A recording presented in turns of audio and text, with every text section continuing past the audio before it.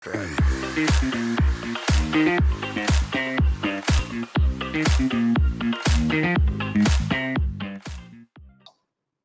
hello, if, if nobody caught me off the top of the uh, the introductions for the session today, uh, my name is Brett Hodis. I'm the Senior Program Manager uh, at TechNation on uh, our Future Workforce Development team.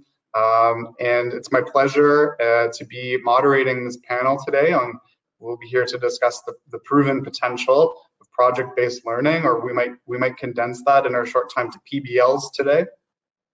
Um, and I'm super excited to, to bring this panel on, on PBL because I think it's an important conversation to have that may sometimes kind of get overlooked when we talk about WIL.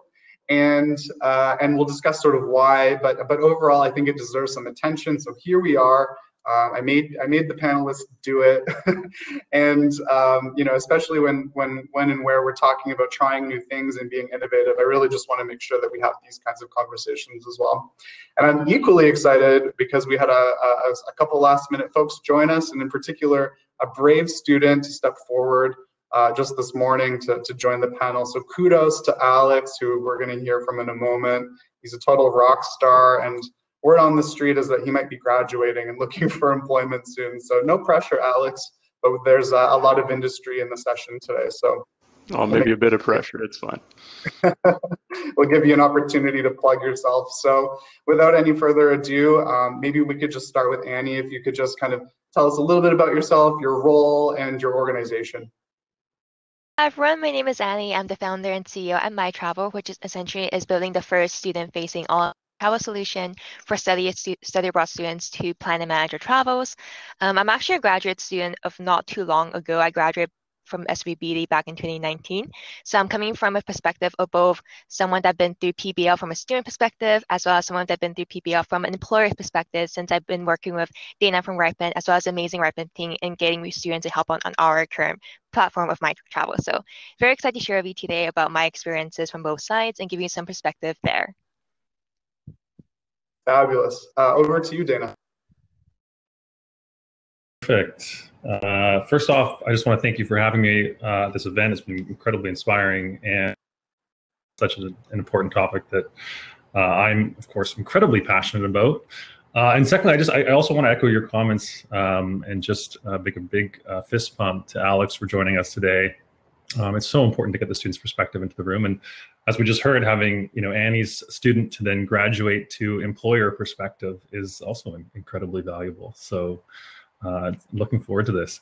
Uh, my name is Dana Stevenson. I'm the co-founder and CEO of Ripen. Um, for those of you that don't know, Ripen is an online marketplace that enables uh, education and training providers to provide high quality, high impact uh, work integrated experiential learning uh, at scale. That's what we really you know focus on is doing this at scale while while maintaining high quality.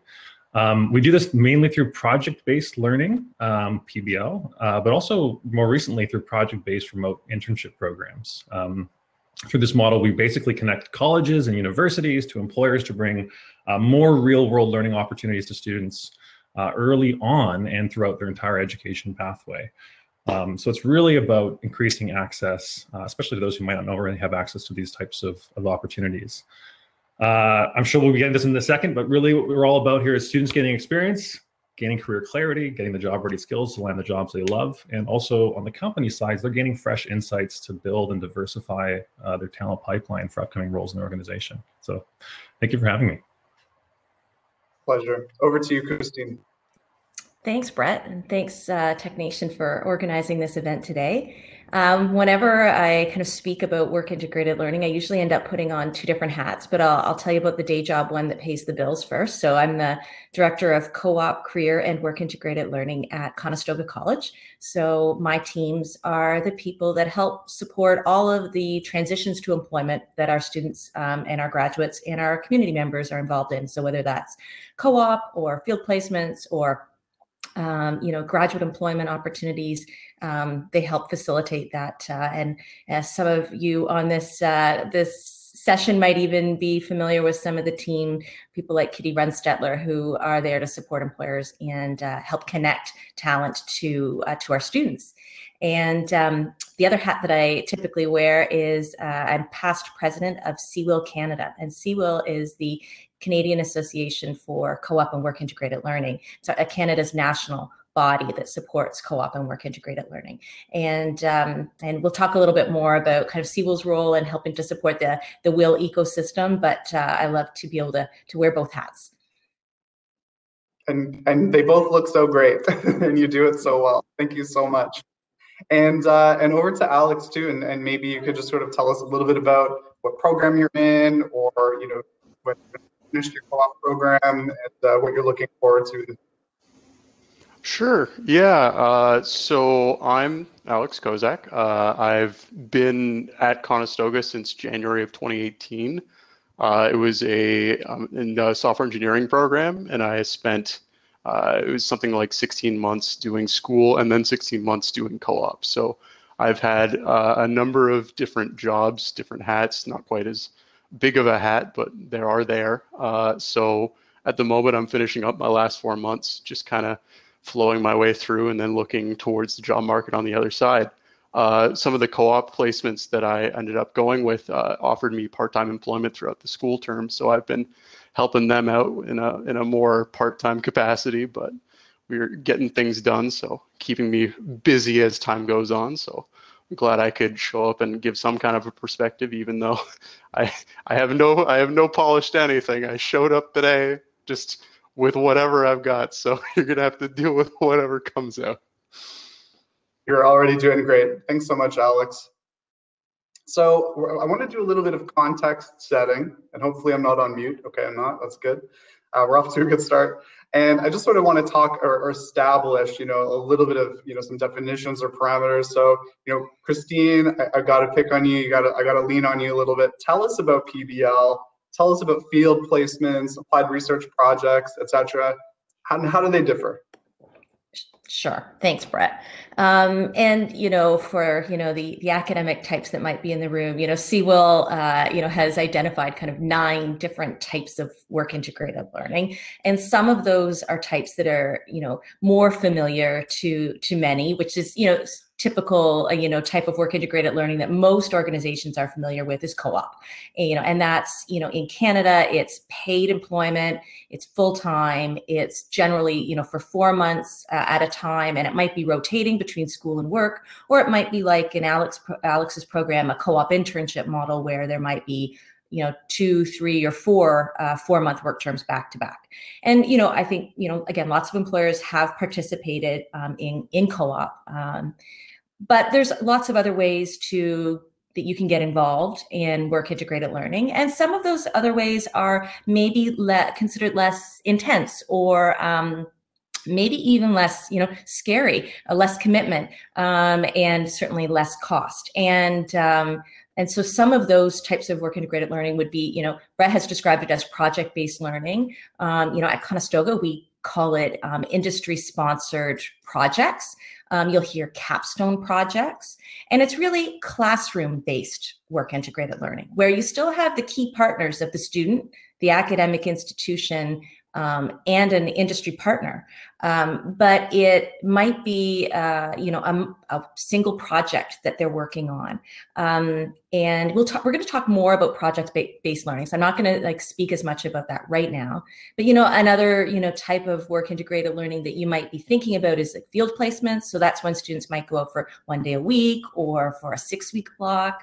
Um, we talk about service learning. So these are often projects that are really more focused on the not-for-profits um, and where students are really gaining that opportunity to learn about giving back. Um, and then you know you might have entrepreneurial work integrated learning. And it sounds like annie maybe you know you might have been engaged a little bit in that. If perhaps you launched your business um, out of an idea that might have been supported through a campus incubator possibly um, you know that's another type of work integrated learning.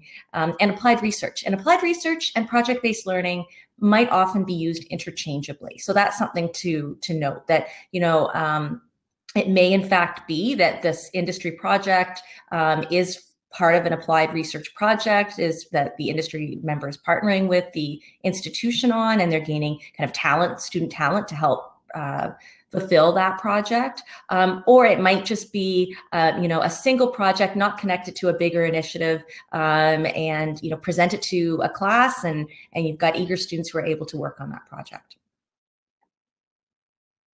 Fabulous. Yeah, and you brought up a couple of good points. I mean, especially some of these, you know, different vehicles are kind of, you know, there's less cost associated with them, so they're a little bit more, you know, easier to participate in, or there's less barriers. Especially, you know, TechNation and the Career Ready program, we're working with a ton of, you know, SMEs, startup scale. It's very young entrepreneurs. Sometimes an entrepreneur who's just graduated, you know, Annie, and who started their own business, and you don't really have a ton of resources. And so sometimes we see, you know, uh, requests for funding come in, and you can kind of tell in the background you can see the story you know this employer you know saved up all their money or they got a loan and they're working really hard and they want to have a student come in for like you know kind of a five week placement and so I see those come in and we certainly do fund them uh, through, through the Career Ready program, but I always wonder if if a, if a PBL might better satisfy them. And uh, so we're maybe even doing them a disservice by funding the position when there's these other sort of models that might serve them better.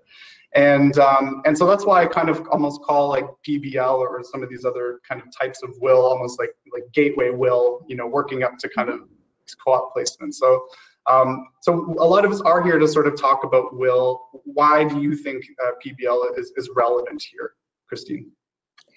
Yeah, I mean, and Dana, you know, in his intro, he kind of quickly touched on a few points because I think, you know, and, he, he think he really hit on kind of some of the high parts right away. Um, you know, I think all forms of work integrated learning are really an amazing opportunity from the industry perspective to build their talent pipeline. Um, you know, it might be a um, a, project length uh, job interview, it might be a field placement length job interview, or it might be a four month or sixteen month uh, length job interview. But it's an opportunity to really kind of try out talent, and the students from that perspective as well. They get to try out the company, and and you know that's something employers do need to remember that you know uh, when you are participating in any form of work integrated learning you know, hopefully you're looking at, you know, the students as an opportunity, you know, part of your talent pipeline. But if you are, then you need to make sure you're putting your best face forward as well, so that the student has a good experience and has a good, uh, you know, experience working with you as an organization, and that they would want to go back. So the talent pipeline, um, for sure. Um, the idea of kind of gateway WIL that's a, I, I think a, a, an interesting way to describe it, but it's a, it's a good one. And we see it. We see success stories where you know students they start with a project and that leads into them getting an offer for co-op and that leads into them getting an offer for graduate employment. And then like when it's really full circle, they come back and like Annie, and then they participate and they hire the next kind of generation of students. Um, and then the last one, I would say, you know, the, that low cost way um, that you mentioned, but finally being able to access this fresh talent and these fresh ideas, like, um, you know, and it's and it's it's really easy, especially once employers, I think, get you know into the groove of how to participate. I think um, they'll find that it's a really kind of great addition to um, their activities. Thank you for that.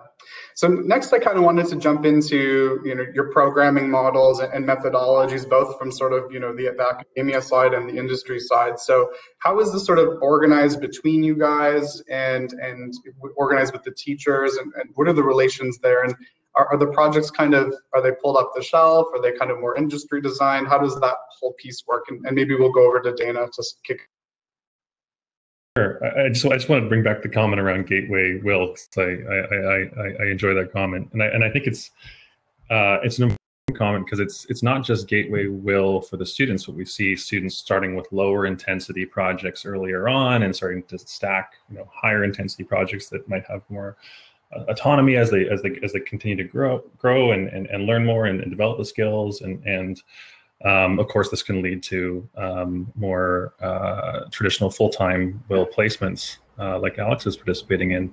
But it's also the gateway for the employers as well. There are so many small, medium organizations. I think that's what you're touching on there, Brett. There are small, medium organizations, startups, not-for-profits, where they just haven't engaged with students yet. And whether that's because they think of it as too risky or they don't know where to start or you know, maybe they're waiting for some other organization to give the students experience first before hiring them. This becomes a really good stepping stone for them to get in, uh, engage with students, um, you know, get exposed to the talent and the types of skills and, and what they're learning.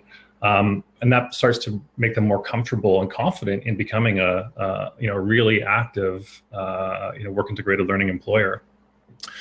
Um, I can talk a little bit about, so just to, to sorry, I just want to mention that. So on, on, your, on your question, what's really interesting, um, you know, how we do this at Ripen is, you know, really the ecosystem is educator driven uh, in a sense that where, you know, uh, the educators, whether that's career services, whether that's instructors or professors, they're designing experiences and they're making sure that they're setting out the right expectations, the right type of, type of projects that are going to align with the learning objectives of the program. So it really needs to be an authentic learning experience. On the flip side of it, we call it industry design. The projects are all industry design. So they're trying to make sure the projects align with their business and talent needs and um, their, uh, you know, their uh, new ideas that they're um, exploring or innovating on. But really, what we end up doing in our in, in the Ripen world is we connect the two together, um, and that creates a co-creation opportunity. So we help connect the educators to the employers, help get them sort of speaking the same language, um, and then once those connections are made, there's an opportunity for a co-creation. So those, those the projects might be adapted really to ensure that again it aligns with both the business and talent needs and aligns with the, the learning objectives of the program. And what's really exciting about this model is that I, I, I, often talk about this is that it actually creates a co-learning experience. So, you know, again, a lot of, you know, learn, we, we talk a lot about writing that learning goes both ways. And the, you know, as much as the organizations are mentoring the students through these, through these project-based opportunities, the students are, are, are um, bringing fresh insights. They're bringing what they're learning in the classroom and applying that in the real world setting. And a lot of the organizations are attracted to this because they get to actually go down that journey with the student and they get involved in experience and that helps them innovate that helps them you know, go through digital transformation which is so common right now uh, really bringing in that student perspective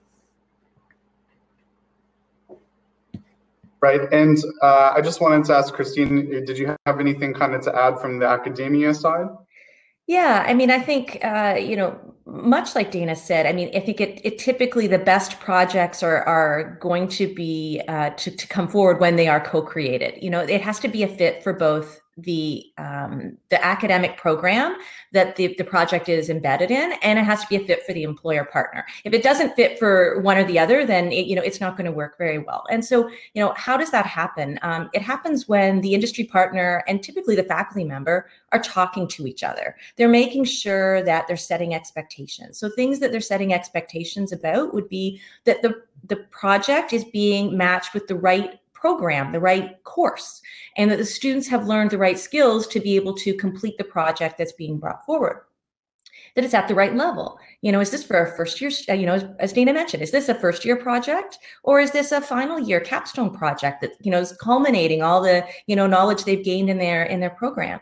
And it's also about setting expectations for um, the employer partner that, you know, in the end, these are still students you know, and they're going to do their best student work, but that some project results might be better quality than others. And you know setting expectations for what the outcome and and how it can be used and maybe immediately commercialized you know that needs to be something that is clearly kind of understood and identified. And so really um, you know i think they're they're often kind of custom designed. Sometimes they're kind of repeat projects but there's always got to be really good communication I like that answer, and I was even going to kind of ask you, you know, what kind of investments, you know, in terms of time do, do employers have to make? Is it very high touch? But it sort of sounds. I like that answer. It depends. It can be, but there's a lot of sort of supports and services out there that that that kind of you know reduce churn or, or make it easier to access. So I think that's awesome. I kind of want to switch a little bit now, and I just sort of wanted to ask maybe Alex. We can start with you. Like, what what has your experience with PBL been like? How do you see it from your perspective, and and what has made a, a good project for you? What what was what made it good? Yeah, so as far as I've I've uh, experienced with with those, uh, it was with with a uh, four by four project, which is our essential. We took a week uh, during our March break, our our uh, reading week term in the spring semester. And what we do is we bring in a bunch of industry partners and they pitch their ideas to a bunch of different groups of various levels. And so at that point, it's just a bunch of people coming together with ideas and people coming together who want to showcase their skills that they've been developing over these past couple months in order to create something. So it, it isn't necessarily going to be something fully finished because it's a week. You got to expect what you can expect from what's going to come out of it. But I've seen a, a number of things come out uh, with companies who have come in and asked for stuff to get done, and really interesting ideas have come through uh, with with ideas coming out. Because I, I know a lot of people, especially uh, with with the co-op terms that are that come up, people really need to have some form of portfolio, and they love having the ability to have somebody else come up with an idea for them because that usually ends up being the most difficult part. And if we can put our effort more controlled into some somebody else's idea that would be almost ideal for a number of the people who are in my program or other programs like it. Are you sure you didn't prepare? Not at all. That was excellent. Annie how about you from your perspective on either end Absolutely. So I guess starting from the students and similar to Alex, I've also been through different like co-ops, internships, as well as like PBL like opportunities, whether it's on Ripen or through Discord channels. And a lot of the a lot of best projects really come from getting expectations set at the early get-go, like whether or not this is going to be an introductory type of project or is it going to be a capstone project. Having those initial conversation with the employer and the student is super helpful because we know what to expect at the end of the day, and we know what type of opportunities and what type of skills that we should be bringing to this project, and not take those ones that might be too outside of our skill sets, but just a little bit outside our own comfort zone. Assessment just said it's also a great way in terms of the employers I know sometimes coming from the employer background, whether you're a small business, NFP, or even just an early stage entrepreneur, you might always have that initial concern about, oh, if you work with students, where they have the right skill sets, or would it would take a lot of time to train. But something that we realize is that it's actually great working with students because they're essentially like a blank canvas. It makes training a lot easier because they're not coming with, with tons of experiences and tons of different like knowledge expertise, but they're willing to be more open and they're more flexible to learning like our own company's tech stacks, whether it's using React we're using certain type of programming, um, Figma, etc. We have like, our own tools, and they're more open to approaching that and just taking that on as opposed to us having to train someone that's super skilled and trying to go back to the way that we want to work properly. So I think working with a blank canvas is really helpful in that case. Aside from just that, um, a quick example that I use in reference blog posts is we actually hosted a design challenge for our recent conference sponsorship with Isaac students, where we hosted a design challenge for students to initially use what we taught them in the workshop to create a mini um, design idea for my travel. And something that the students actually came up with is actually things beyond what we were initially like kind of going towards, but it actually brings in more perspective and something that's more related to our student demographic, right? So they just bring a lot of different perspective that sometimes you may not know yourself as an employer and you might be ton of vision idea but students are a great way to just utilize their experience and skill sets in that regards. Um, aside from just those two actually would say for us at my travel the way that we work with students is we usually have like an onboarding um, sorry Scott try try we usually have an onboarding day where we just take in all the students that we are working PBL now in, in the PBL setting with.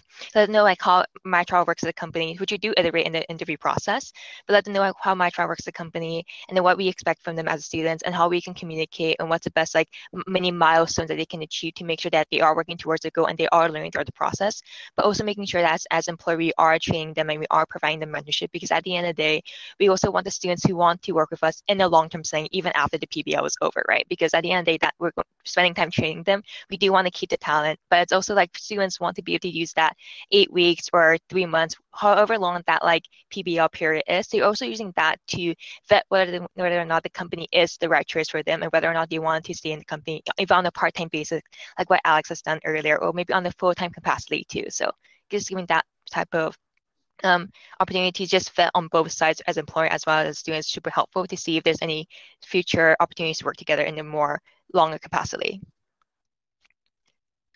Yeah, and I hear what you just said too about, you know, just having that fresh set of eyes or perspective. Like that's something that comes up a lot. And that's a huge value proposition of participating in something like this. And, you know, especially if you're maybe in an office where everyone's maybe of the same generation, uh, you know, you want to kind of even a different generational perspective or lens. Even me as a millennial, I mean, sometimes I don't even know what Gen Zs, you know, are kind of thinking. So I think that's a really great kind of way to leverage uh, something like this. I just kind of want to go back a, a, moment back to Dana and, and, and Christine and something uh, Julie actually brought it up in the chat and great minds think alike because I was just going to ask this question. People are wondering, and, and, certainly I am too, what about the matching process? Like how does that work with, with your programming at, at the school and, and through uh, Ripen's platform?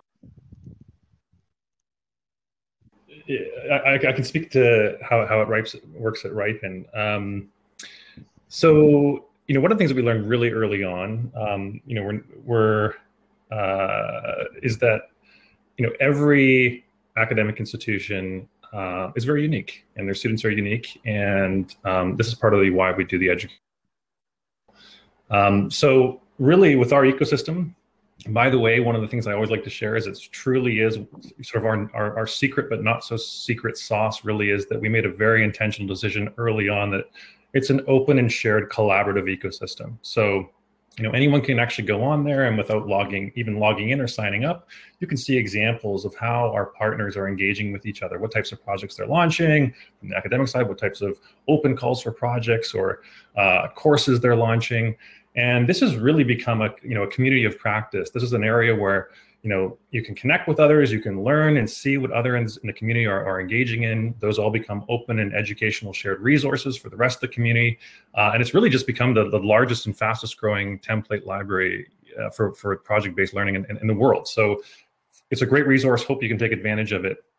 But that resource also really is the marketplace. So on one side, the projects are being posted by the organizations. We use matchmaking algorithms. We've got a team behind the scenes that are also trying to make do you know manual matching.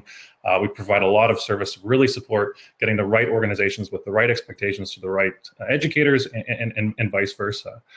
Once those matches are made, it really depends on how, again, every instructor is unique and the way they want to run their courses is, is, unique. So we offer a huge amount of customizability of whether they want to run it with just one organization for the entire class, and students will be working on a similar project facilitated by the educator.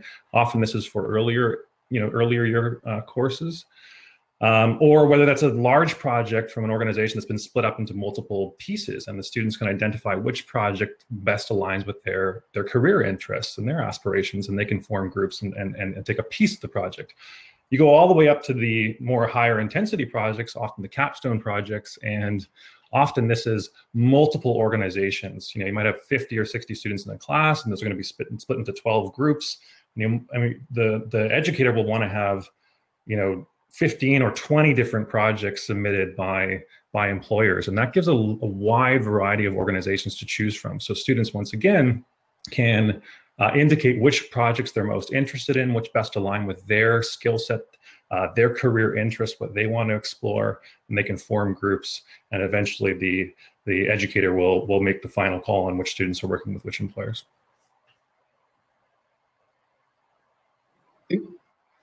So, you know, I think much of what Dana has said, while like applicable to how um, the Ripen platform works, like some of the, you know, most of those core elements are um, going to be found in terms of you know however you know project-based learning is happening and you know his comment that you know every institution is different you know he's right um, you know we all have our you know it really it's and it's not just every institution it's really really gets down to you know every course every faculty member you know operates you know project-based learning a little bit differently. And you know, I noticed there was a question saying, "Is this just in the STEM fields?" And no, absolutely not. Um, ton of project-based learning in um, our kind of school of business area, creative industries, um, certainly in you know our IT area.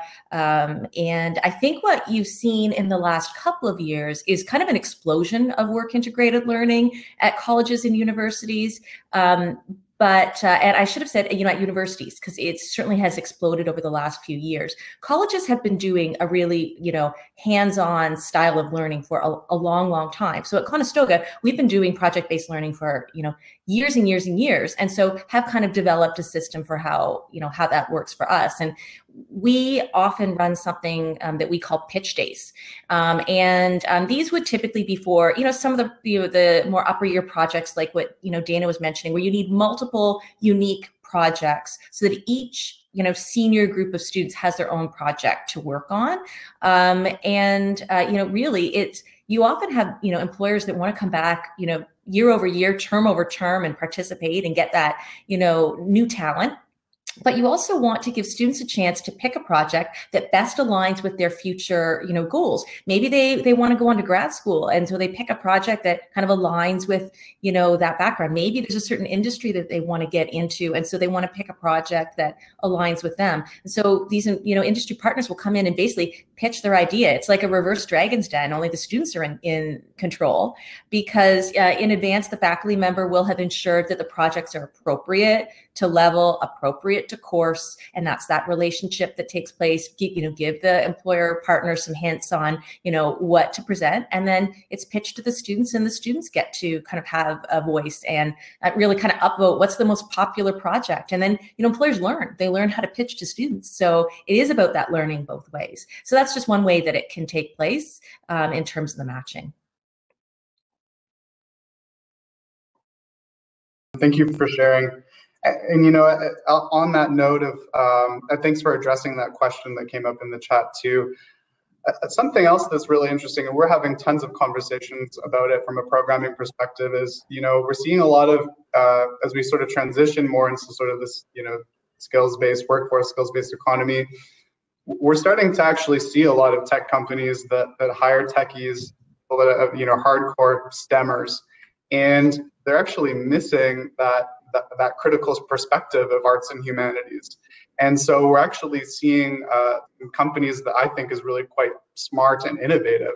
They're actually looking to hire, you know, maybe like, you know, one or two business analysts who went through kind of like, you know, a, a business technology management program two of them, but maybe one of them comes actually from political science or something. And um, and I think it's that's really valuable to, to like we talked about fresh perspectives not only you know cross culturally but also through different you know um, academic disciplines as well super super valuable um, so another question I, I had and maybe I'll kind of lean on on team Conestoga for this one was I wanted to talk or ask you about you know what are some of the benefits of PBL for students beyond kind of the academics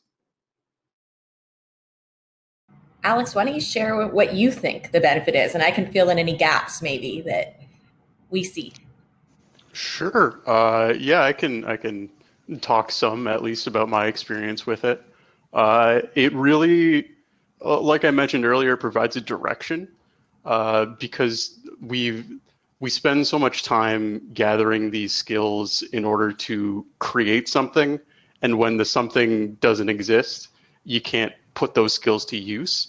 And so with these things, like in the 4x4 and the capstone, uh, as previously mentioned with the pitch day, my, my situation was a little weirder because COVID happened and everybody stopped. Um, so it's a little different for us. So we had just text text documents sent around saying, "Hey, if you want to do these cool things that we have, you can pick them up." Uh, but I know uh, through a number of other students who have been been here previously that they they said the pitch days were some of the more interesting days because you get to go through and see so many of these different ideas that you didn't even think of like especially around this area with so many different uh, startups just going in and out uh, creating new interesting things all the time there's so many different perspectives that you don't even know about that just show up and then display something that you were like, oh, this is this is suddenly new to me. I'm I'm very interested in this thing, and that really helps us at least uh, find a direction for our careers in in the future with that. So I think you know Alex kind of touched on something that Dana mentioned earlier, which was uh, career career clarity, um, and you know all forms of work integrated learning. I think provide an excellent opportunity to help students develop that career clarity. So whether it's about what industry is a fit for them or what, you know, type of employer, what type of work they want to do, um, you know, it gives them that taste to, to get that career clarity. Um, and I mean, the opportunity to network. And, you know, unfortunately, Alex, during COVID, the networking opportunities, you know, aren't as great as, you know, sometimes when they are, when you've got an in-person pitch day and you know, you've got a, an in-person event where you're you know you're presenting your plans and then company you know leaders are coming in you know maybe checking things out. And and i certainly agree. I hope we get to the point where we can get back to that soon. Um, but you know those are you know some of the opportunities. One of the things that conestoga did uh, this year was we launched something called the student experiential record um, and this is kind of like a, a, portfolio for all of the experiential learning that students are gaining in their academic program. It kind of pulls it into one place because what we were finding was that there was really, um, uh, you know, you hear about this challenge of you know uh, an employer is posting for a new grad opportunity and they're looking for someone with three years of experience. And then the, the new grad wants to apply to this new grad opportunity and they say but i don't have three years of experience. I'm a new grad.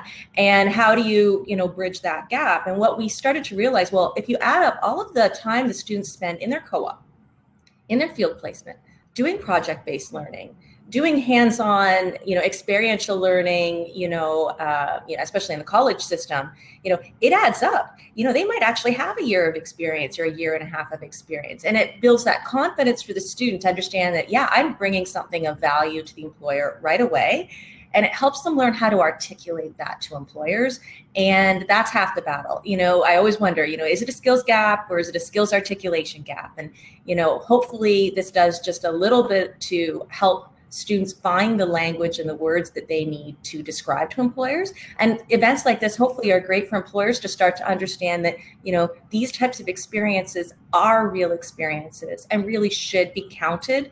Um, and you know when you see a new grad you need to think about the fact that they're you know they're not as green as you think they are anymore because they've had these real life experiences that maybe you know 10 or 15 years ago weren't as available in post-secondary education should be counted and, and, in many cases should be paid paid as well. I, and I know that's something uh, Dana's quite passionate about as well. So I'm just cognizant of time, but we're getting up to the end of our 45 minutes. So I wanted to let everybody kind of have the last word. How can folks? There's a lot of interest in that, and I know people are interested. How can folks continue to get, get involved or, or learn more from every one of you?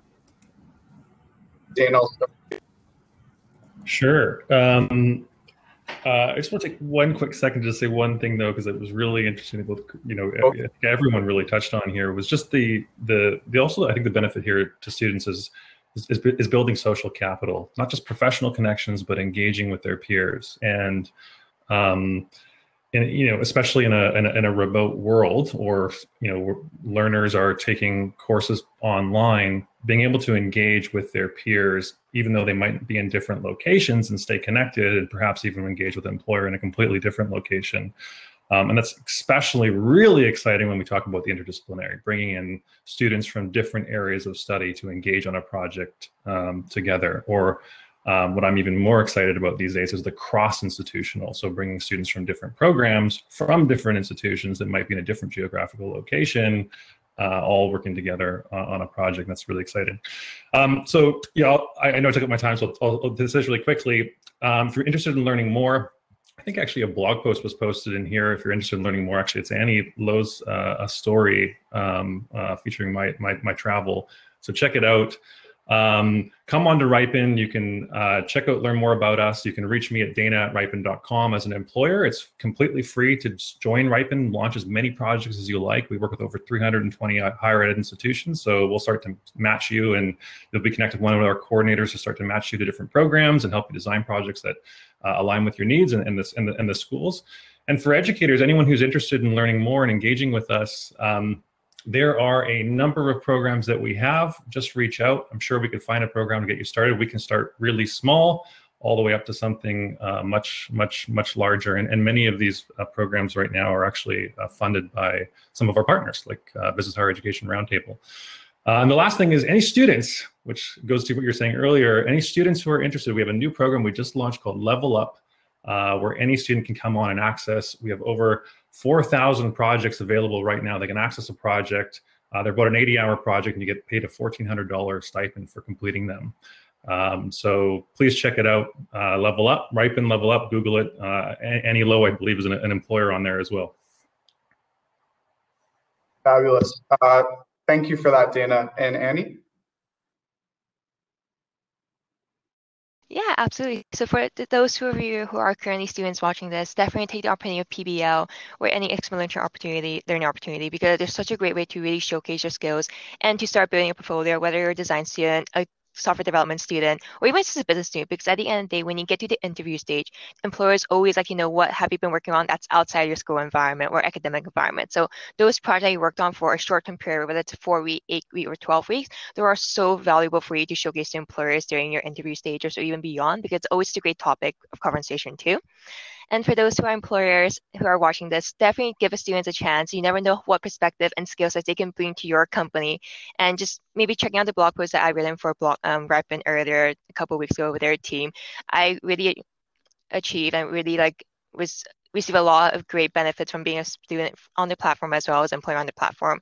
And you're just able to be you know, not only give back to the community, but also be able to work with students in a more um, safer manner where the government is funding you and you are having grants to work with these students and also to see if they're going to be a great talent for you to bring on to your company for a longer term duration as well. And if you have any more questions from a student's perspective or even an employer's perspective, feel free to email me at aa.anilo at gmail.com or hello at mytravelapp.com as well. I'm more than happy to share my experience in more detail on, from both sides of the spectrum. Thanks, and that was awesome. Christine? I dropped my uh, email at Conestoga in the chat as well as uh, email address for, for CEWIL Canada. So um, feel free to reach out if you are interested in learning more about kind of work integrated learning in general, um, connect you to resources through CEWIL Canada, or if you're interested in working with great students like Alex, then uh, we'd love to work with you at Conestoga. So um, it's in the chat, but I'm Kay Dawson at Conestoga, c.on.ca. Thanks, Brett, for having us. Our pleasure. And Alex, we've got one minute left. Again, no pressure, man, but I, I wanted to let you do uh, your elevator pitch to sign off. And if you do you have a LinkedIn, can you put that in the chat in case any employers want to connect with you? Yeah, I can definitely put that in. Uh, I don't have much of a pitch. Uh, I'm just existing as I am. I'm just trying to have some kind of an impact wherever I show up, and these kind of these kind of events really help me uh, spread spread my voice at least a little bit. Hopefully, bringing some of the people I know who have uh, lots of experience in their own little world worlds out out into the broader sense. Because I know a lot of people, especially around these times, are having uh, trouble finding uh, employment at least at the beginning. So it's it's really nice to have that kind of stepping stone. Uh, and and even though I didn't quite know what this was about, I'm, I'm glad I was a part of it. Well, I just put a little note in the chat. You've to sum up what you just said. It sounds like you've got an appetite for learning and making an impact. So uh, I'm sure you'd make a great addition to anybody's team.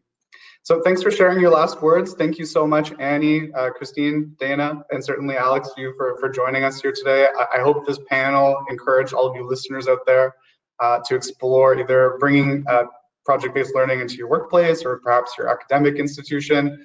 And I'm going to sign off now and invite everybody to head over to the uh, session for the day and final session for future wave panels for this year. Um, this one's focused on innovative WIL models in Canada. You're going to hear from both industry and academia again uh, on that and see how they're working together to move the needle. I look forward to seeing you there. The guidance of the session, I'm going to the right one. Thank you. Bye, everyone.